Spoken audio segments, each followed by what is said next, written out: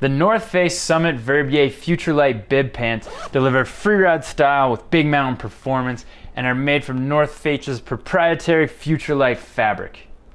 I am 5'11 and I weigh about 180 pounds. And these pants are a size extra large short. This kit has all the bells and whistles you would come to expect from any top of the line outerwear. Starting from the top down. Adjust the suspenders with one pull. A couple chest pockets with loops inside them. Now you could attach your beacon to these loops and store them in one of these chest pockets if you really wanted to, but personally I would just stick to wearing the factory recommended beacon harness to house your beacon.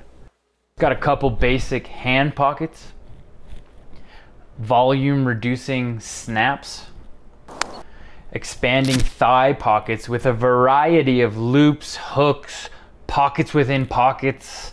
There's a lot going on with these super technical pockets. Reinforced cuffs.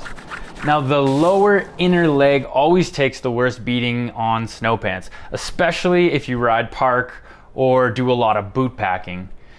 But these cuffs are absolutely bomber.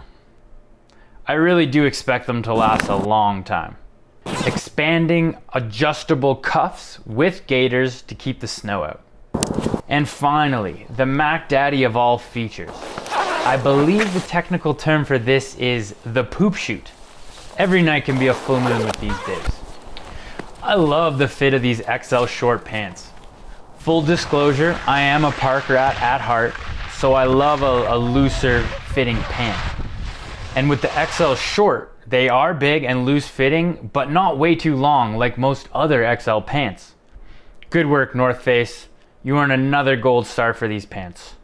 Speaking of gold stars, to see my gear guide on the North Face Summit Verbier Future Futurelight jacket, click here. The North Face knocked it out of the park with this kit. If you got the cash, you cannot go wrong with the Summit Verbier Future Futurelight jacket and bib pant combo. That's it for this review. Dangerman signing out.